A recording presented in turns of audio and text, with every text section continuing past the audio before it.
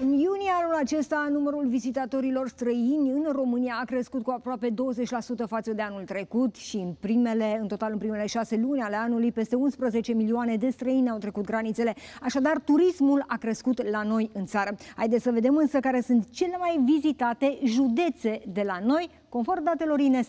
Bucureștiul, doamnelor și domnilor, este numărul 1 în acest top. Din ianuarie până în iunie, peste 1.700.000 de turiști au înoptat în capitala României, spune INS.